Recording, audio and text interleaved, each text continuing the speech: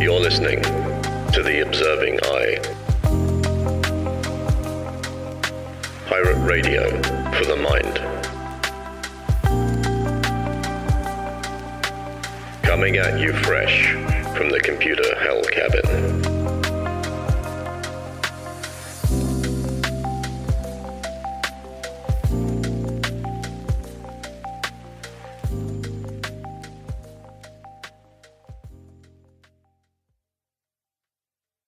Hello, you beautiful lot.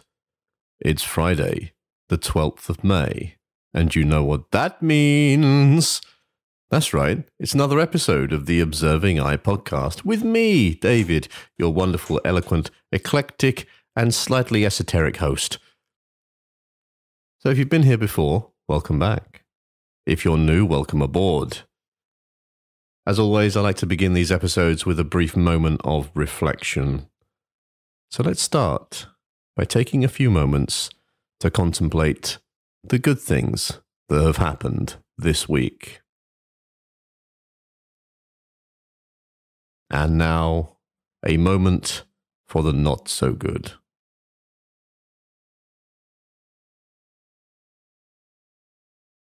So, today I want to talk a little bit about habits and discipline but I don't want to talk about it from the context of of like neurology or creating structures in the mind and that kind of thing.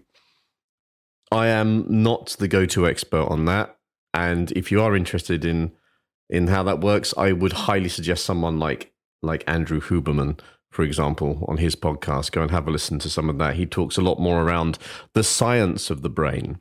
I'm going to come at it from a more esoteric and psychological viewpoint.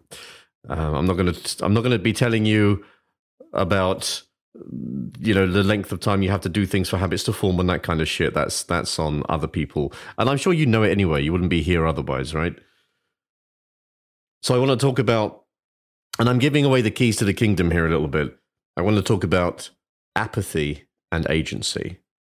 When it comes to us choosing to do things, I feel that there are there is a battle here between apathy and agency.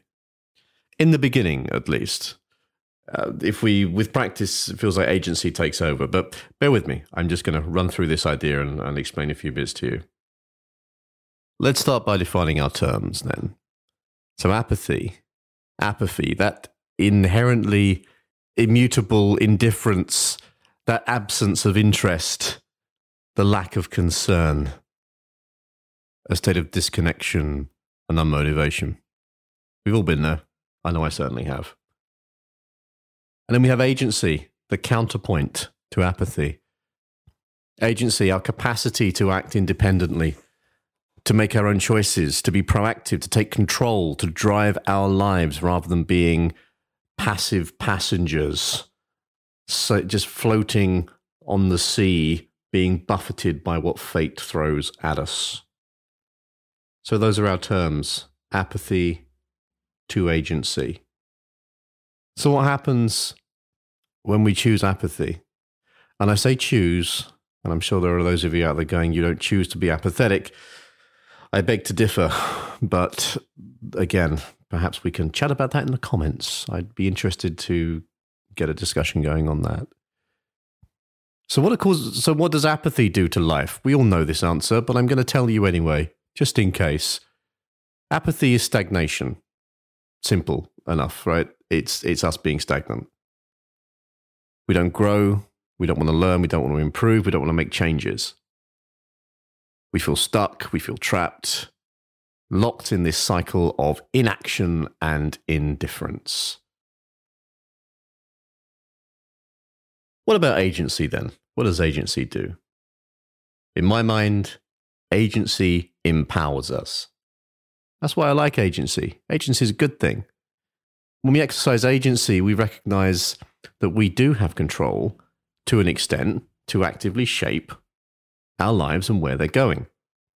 But again, this requires a bit of self awareness, a bit of looking inward and understanding our direction and our desires and what we want from life. It's very, very difficult to have agency when we don't know what we want because then what's the aim? What are we what are we pointing the agency towards? So let's talk a bit about using agency to create discipline. We've got to recognize first that agency is a tool to shape our behavior. You might want to call it willpower, yeah? Kind of interchangeable terms here. Willpower fueling agency, fueling us moving forwards, fueling us growing and, and changing our circumstance. So agency enables us to establish routines. It enables us to create habits and it gives us the prescience to make choices that align with the goals that we've set for ourselves, the direction that we want to go in in life. So, speaking of goals, then, we've got to set goals in order to reach them. And those goals have really got to be achievable. It's no good me setting a goal that says, by next year, I will be Pope. Like, it's just not going to happen. It's not an achievable goal. I'm not even a Catholic. Like, it's just, it's not a thing, right? So, we need to measure our expectations a little bit when we're setting goals and try to try to go for something that's manageable. Saying in the next five years I want to be a millionaire. Okay, that's that's a wonderful ambition. It's a wonderful goal, but you know, what's your plan? What's your strategy? You need to think around that a little bit. How are you going to get there? How are you going to change your mindset? How are you going to change what you're doing to get to that goal? How can agency serve you to reach that? And lastly, I want to talk about consistency. And I've talked about consistency before, obviously, because it's an important one, much like compassion, self awareness, and all that sort of jazz. So, when we talk about discipline, discipline isn't like one single action of agency. Discipline is a consistent set of choices fueled by agency. We need to repeatedly make the good choices that align with the goals and directions that we want in life.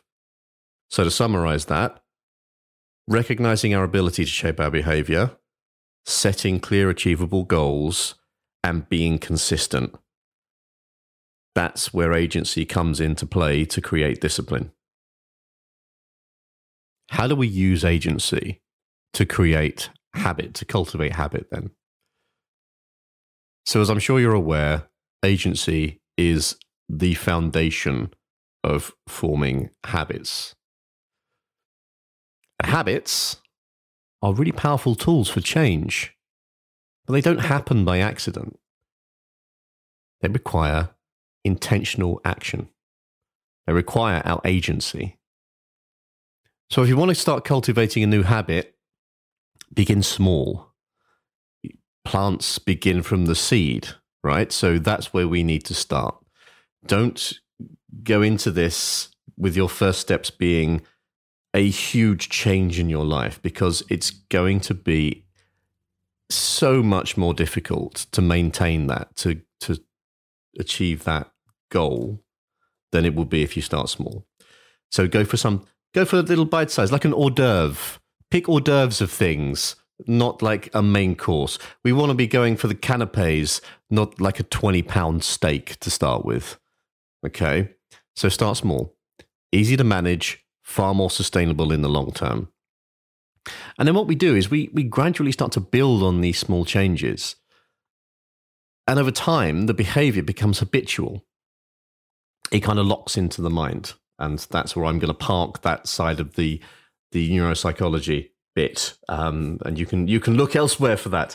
Uh, but it's yeah, it's forming consistent behavior that form forms consistent habits, and the consistent behavior being fueled by agency and choosing and making good choices, I should say, that are aligned with our goals and our expectations and our direction. So you can also think about linking a habit to an existing routine.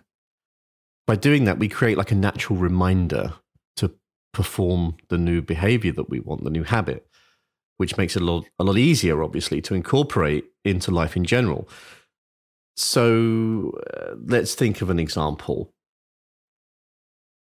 I'll take one from me, actually. A little bit of self disclosure on this episode. So I have a desk job, as you can probably imagine, and I work from home. So I'm sitting here at the desk in front of the computer quite a lot. And I'll go and grab myself a coffee or a drink or something like that quite fairly regularly. I try not to drink too much coffee these days.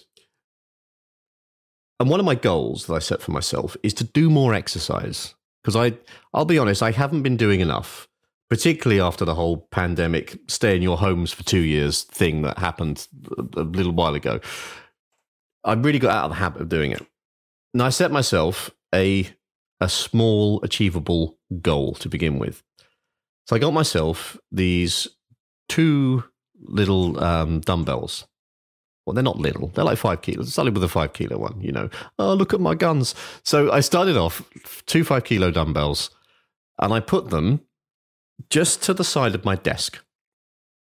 And I decided that every time I went up to get myself a drink, I'd do a couple of sets on these dumbbells just to try and try and you know get some kind of exercise in uh, into into play and to build up that routine. And it works a treat because firstly, they're by the desk so I can see them. They're a visual cue. It's like, ah, dumbbells, let's do a few, let's do a few reps. So the dumbbells are there. And then over time, because I'm starting to get into that mindset of okay, cool, exercise, and I don't know why I stopped doing it. I love I, the, the feeling that you get after after doing it is great. Um, I think it it's just the agency, right? It's the agency to do it in the first place. So they're there these these visual cues, and I get this right. Okay, I'm going to go and grab a coffee, and I'm just going to do a few sets of this, this, this, and this. Boom, and I would do that a number of times a day. And from there, it was like, okay, so I've started I've studied this bit. That's my hors d'oeuvre, my little my little reps. And I'm like, okay, so how about I set an alarm on my phone for 1 p.m. and that's my lunchtime alarm. So how about instead of me making some lunch and just watching crap on YouTube for for an hour, how about I do half an hour on the exercise bike before I eat? And then over time, that becomes a, a habit. So I'm doing the exercise bike before lunches now. And it's it's those little things that are achievable. I'm not thinking, holy shit, I need to like bulk up and lose weight. Uh, and that, that that becomes that becomes a very very different goal. The goals are small and they're steps. So it's okay, start with this, the dumbbells. Then it's the exercise bike and then it's okay we're going to get some rowing machine in there a few times a week.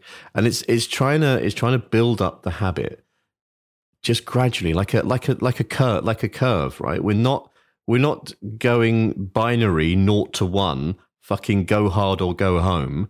It's a gradual curve. And we're we're just upping the we're upping the the, the expectations in each increment that we're that we're moving. So that's that's my experience. That may work for you. I'm just, you know, throwing some ideas out there because um, all I got is my experiences, right? So, so that's what I'm working from. And lastly, talking, going back to talking about cultivating habits through agency. Lastly, be patient with yourself. Um, this applies to all things, but please be patient with yourself. These habits, as I just talked about in my experience, they take a little time to form, and there's going to be setbacks. You know, there were there were days, there are days where I, I don't feel like doing the exercise bike at lunchtime or I'm too busy doing shit and things like that. So there are days when there's going to be setbacks and, and afterwards I'm like, I probably should have made time for that really. And you, and you mark it up as a, as a, you know, not a failure, but like, okay, I didn't do that. Why didn't I do that? Where's the self reflection? What drove me to take to choose apathy over agency in that instance? What was the context? Understand why we're choosing apathy. Why did I choose not to do the exercise bike at lunch yesterday? What was going on there? Was it because I was really busy? Or was it because I couldn't be bothered? I tell myself I'm really busy, but let's let's get real. I probably just couldn't be bothered yesterday, you know. But I, I, I smooth it over. I plaster over that can't be botheredness with I'm busy because telling myself that I'm busy sounds better than telling myself that I can't be bothered. Uh, so yeah, think about think about the context of of why we don't follow up with agency. Uh, but don't beat yourself up about it at the same time. Be patient. These things take time. look at it, recognize it, acknowledge it, accept, okay, yeah, I chose that, and just try and do better next time. That's all we can do with anything. Just try and do better next time. Learn from setbacks and try again. That's all it is. That's all it is. And that, folks, is all I have to say on the subject of apathy and agency. Hopefully, that's given you a few ideas that you can incorporate into your own journey or maybe just reflect on. Try and move ourselves away from that inertia of apathy into something a bit more proactive and uh, become agents of change in our own lives. Thank you, as always, for spending these quality 15 minutes with me. I always appreciate your company. Wishing you all a fabulous weekend. It is Friday after all. Uh, go out there and, and exercise your agency. Kick your apathy into touch uh, this weekend. Think of something that you can apply your agency to. Think about some goals. You know, what do you want? What do you want? That's a big question, isn't it? What do we want? Don't even think I entirely know the answer to that myself. But it's a journey, isn't it? That's what we're here for. It's all about the experience. Much love, everybody, and I'll catch you soon. You've been listening to The Observing I. Thanks for spending some time with me today. I hope that you found it useful. And if you're interested in any more of my writings or work around psychology and philosophy and general day to day living, please go and take a look at my Substack, which is the Observing I and that's I as in the letter, not I as in the gelatinous organ through which you see. Take care, everybody. Much love, and I'll see you soon.